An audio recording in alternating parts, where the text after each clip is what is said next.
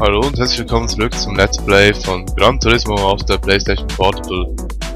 Und wir haben die Fahrherausforderung ja schon fertig, aber ich wollte euch noch zeigen, wegen dem Status hier, es gibt ja noch Strecken, 72 Stück an der Zahl, und dazu muss man, oder kann man überall den S-Level erreichen. Ich zeige euch jetzt kurz anhand eines Beispiels, wie man den S-Level bekommen kann. Zuerst mal den Modusauswahl, nimmt man das Einzelrennen, ich sage jetzt mal eine Runde und gut ist. Dann können wir den Wagen auswählen, einige habe ich ja bereits. Schauen wir mal, was wir zur Verfügung haben. Supra MRS. Ich nehme den MRS. War immer ein gutes Auto. Wir bleiben einfach bei super harten Reifen, das passt schon, Traktionskontrolle aus. Fahrphysik Profi. Das Profi-Modell ist eigentlich das schwierigere Modell. Das ist auch bei den Prüfungen überall so. Standard ist so die Gran Turismo 4 Lenkung. Au, das kann natürlich auch aus. So. Soweit so gut. Dann äh, können wir noch eine Strecke auswählen. Es gibt verschiedene Typen hier. Zum Beispiel die Weltstrecken. Und wie ich sehe, sind noch einige nicht freigeschaltet.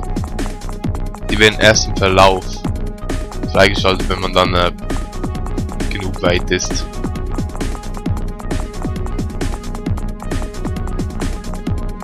Nun ja, egal. Schauen wir zum Beispiel an Weltstrecken. Weltstrecken sind alle schon freigeschaltet. Das ist der einzige neue Kurs hier. Riccardo Tormo. Dann äh, zweimal Circuit de Lazard, einmal die ältere Version von Gran Turismo 4 und dann die PSP-Version von 2005. Fuji Speedway F, Fuji Speedway 90er, okay. Infineon Raceway, dann haben wir noch Nürburgring, Nordschleife, Laguna Seca, drei Varianten Suzuka, nämlich Circuit, Ost und West. Tsukuba Circuit, hatte ich den nicht schon mal? Okay, noch nicht. Und dann noch vier Varianten von Twin Rim Motegi. Das Parcours haben wir Monaco, Città di Aria, Costa di Amalfi, New York, Seattle, Opera Paris, Seoul und Tokio. Abgesehen von Monaco sind alle in beide Richtungen befahrbar. Dann haben wir noch Originalstrecken. Apricot Hill, Autumn Ring und Autumn Ring Mini, der Driving Park, Deep Forest, El Capitan, Grand Valley Speedway und Grand Valley Speedway Ost, Midfield Raceway, High Speed Ring, Motorland Driving Park und die Teststrecke und dann noch Trial Mountain. Und wie ich sehe, sind die Strecken nicht einfach ähm, nicht freigeschaltet, sondern ich kann mit meinem Auto nicht teilnehmen, weil ich keine Reifen dazu habe. Ebenfalls eine neue Strecke ist diese hier, Castrol Rocks Trail 3. 810 Meter lang. Also nicht sehr lange. So, wir nehmen die Originalstrecken und ich würde mal sagen, wir nehmen den Anfängerparcours vorwärts. Es werden immer ganz kurze Rennen, weil es ist immer nur ein Rennen an einer Runde und es wird natürlich nicht sehr lange dauern. Ich muss einfach sehr schnell nach vorne kommen. Viel Geld verdiene ich dabei auch nicht, wie man sieht. Man kann die Rundenzahl noch anpassen. Und ab irgendeinem Bereich steigt es dann nicht mehr. Und nur noch etappenweise.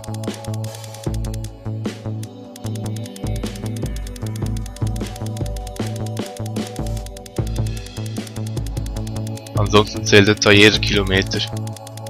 So. Dann würde ich mal sagen, wir fahren los.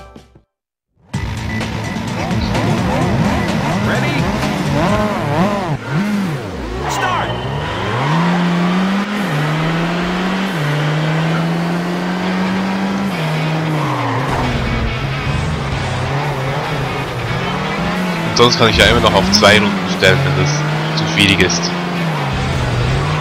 Ups, ups, ups, ups.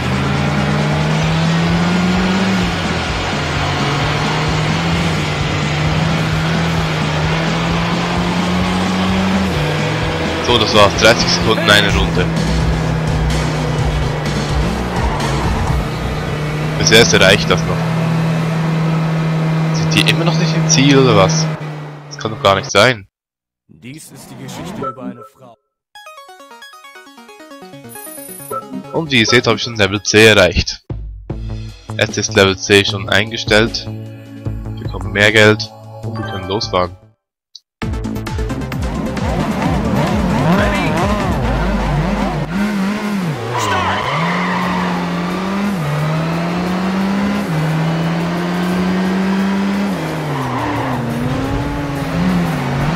So, zweiter.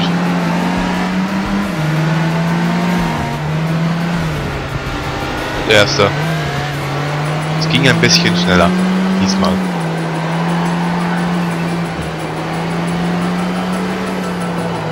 Ui, nicht hier hineinfahren. So, tatsächlich. Haben wir geschafft.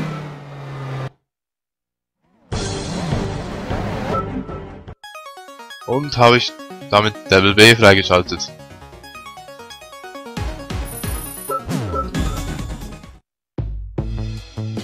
Jetzt stelle ich mal auf zwei Runden, weil äh, das hier ist jetzt wirklich eine sehr kurze Distanz. Sonst macht das ja keinen Spaß.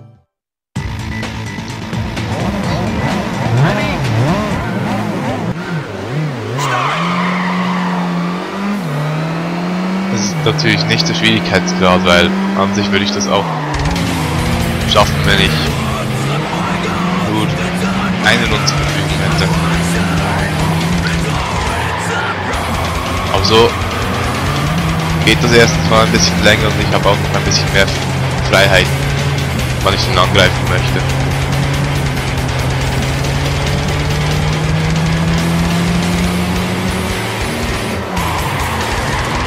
Ist ja einfach wieder mal gegen links gelenkt. Habt ihr vorhin, glaube ich, gesehen. Okay, das war peinlich.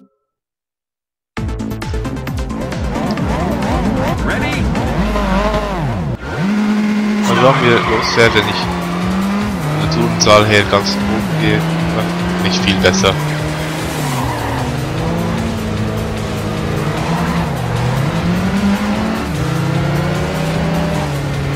Schwere an dieser Strecke einfach das Überholen. Sonst ist es eigentlich ziemlich einfacher Kurs.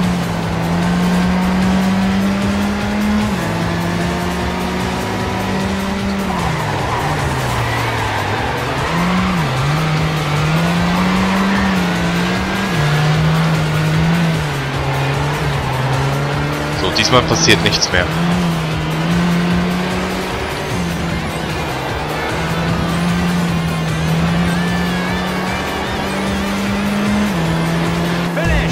Mehr als eine Minute dauert das Rennen, aber trotzdem nicht.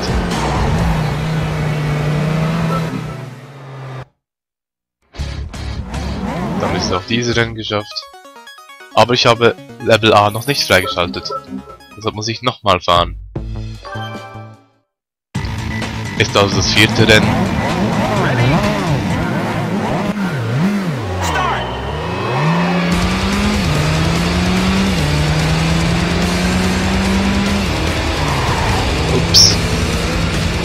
Leider reingefahren.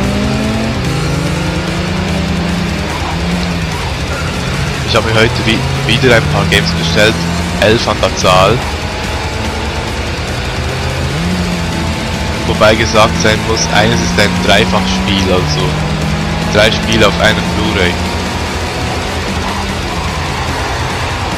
Also sind es eigentlich 13 Games.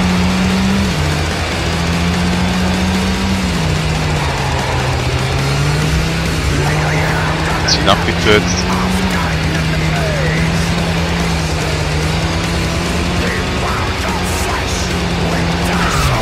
Nein! Nein! Scheiße, wegen diesem verdammten Fehler. So blöd.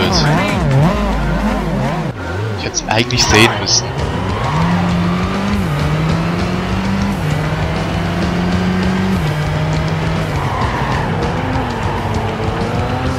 Ich zu blöd zum Kacken bin, habe ich es nicht anders verdient. Ah, Mann. Ich verliere Zeit hinter diesem blöden Wagen. So, tschüss.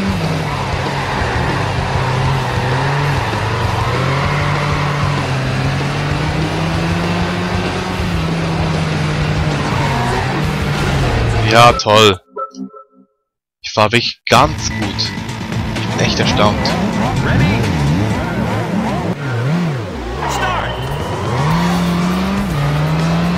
Echt doof. Muss doch besser gehen.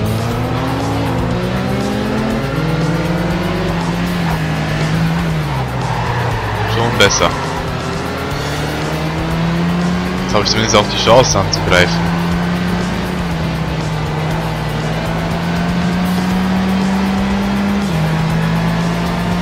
Anschleichen. Überholen.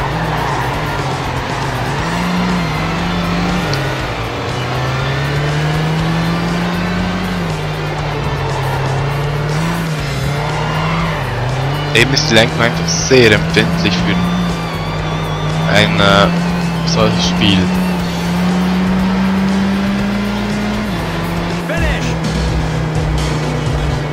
So, nach mehreren Versuchen habe ich jetzt endlich auch das zweite Rennen geschafft.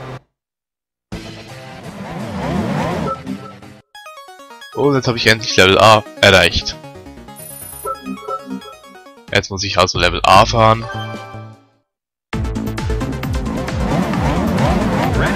Verdienen damit noch ein bisschen mehr Geld.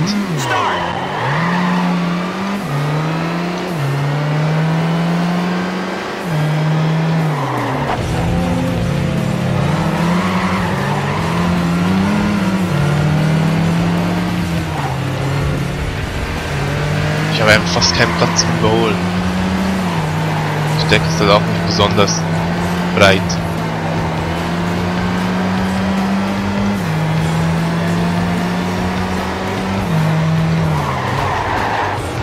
Was eigentlich der Unterschied zwischen den Gegnern für die Kätzgraden ausmacht,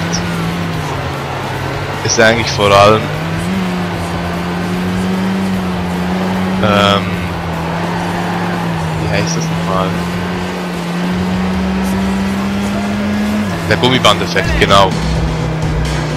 Vor allem der Gummibandeffekt ist äh, in diesem Spiel schon sehr vorhanden, weil die Gegner kann man, auch wenn man super fährt, man kann die nicht abschütteln. Das ist doch ein kleiner Kritikpunkt. So, fahren wir nochmal.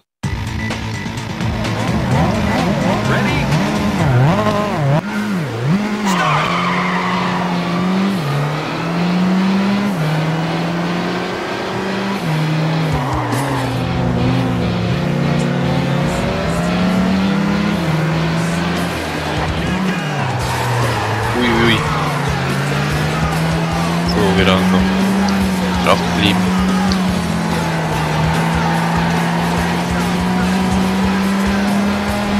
Ui. Da war ich auch schon sehr nah an der Mauer dran.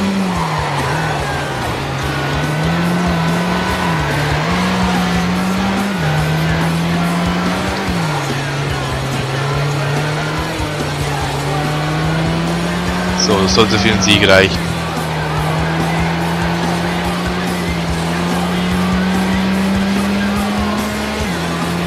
Passt.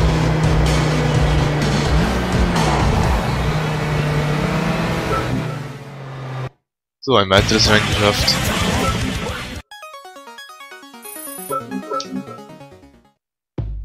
Damit würde ich sagen, ein weiteres Rennen auf Rang A.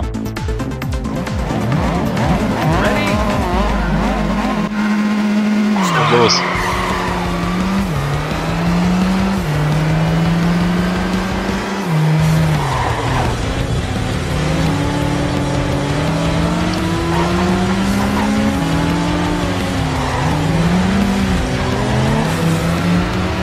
Das ist schlecht, wenn ich schon hinter dem bin. Noch immer hinter dem Lancer bin. Das ist wirklich schlecht. Und wenn ich so viel Abstand habe, dann sowieso.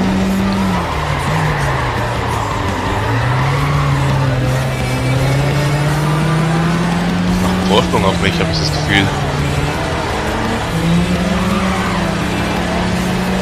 Okay, das zweite Rennen war, also das dritte Rennen hier, war echt für die Katz.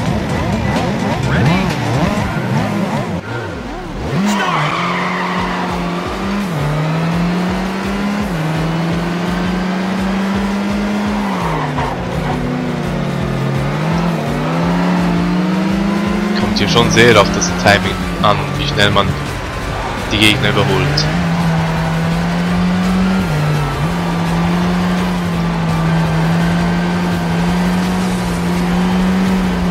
Nicht zu weit außen. Gut.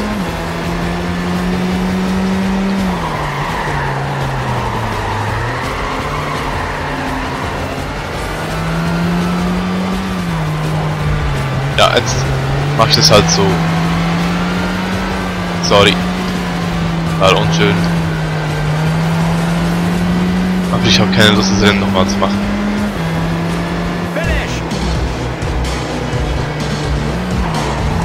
So, noch ein Rennen damit gewonnen.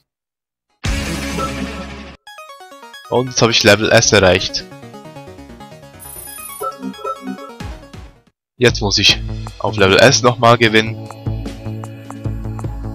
Dafür stelle ich jetzt extra mal... Ups. Dafür stelle ich jetzt extra mal drei Runden ein. Ich bin immer noch im falschen Menü. So. Okay. Das verdient man für wenig Kilometer auch schon sehr viel.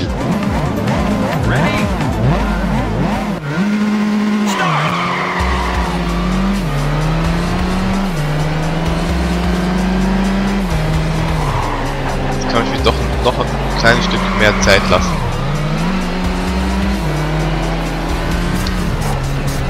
Aber natürlich nicht zu viel.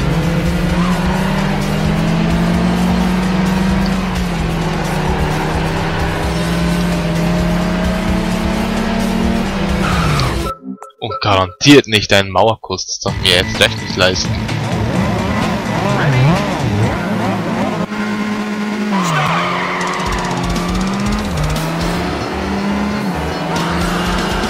So, kommt los.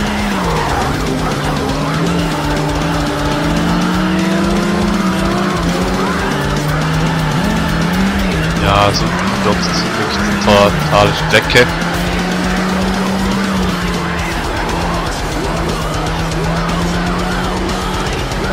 Natürlich könnte ich mehr Runden einstellen. Habe ich ja schon drei. Natürlich könnte ich auch auf 5 gehen oder auf 10, was auch immer. Was sich gerade als richtig anfühlt. Und was äh, am besten ist fürs Geld verdienen.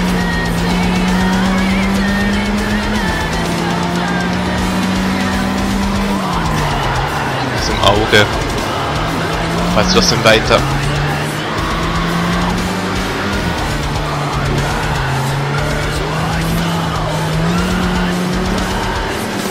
Scheint die richtige Taktik zu sein.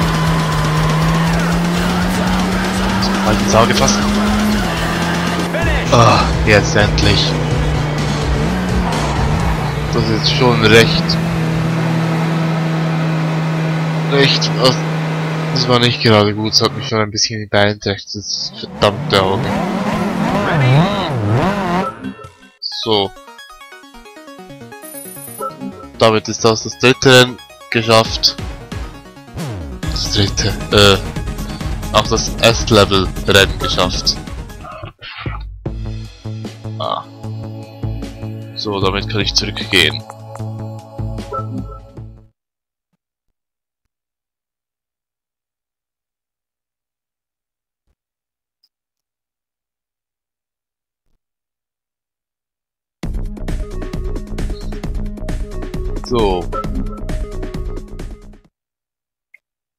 Jetzt werde ich auch gleich neue Autos zur Verfügung haben, aber ich kann mir keines davon leisten.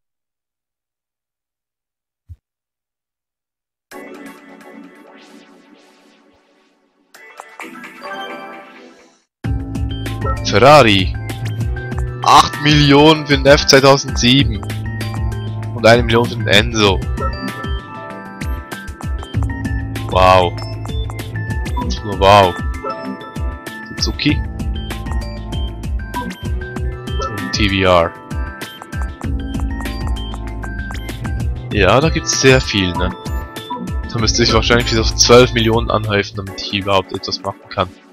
Und wenn wir jetzt mal den Status anschauen, seht ihr hier, ein Rennen ist auf dem S-Level und alle anderen sind auf D. Und dazu müsste ich halt einfach noch sehr viel mehr Rennen fahren, damit überall alles auf S ist. Und für das habe ich natürlich jetzt nicht so ähm, die Motivation. Da würde ich sagen, das Let's Play ist jetzt beendet. Und man sieht sich beim nächsten Spiel wieder. Ich danke fürs Zuschauen und bis zum nächsten Mal. Tschüss, ne?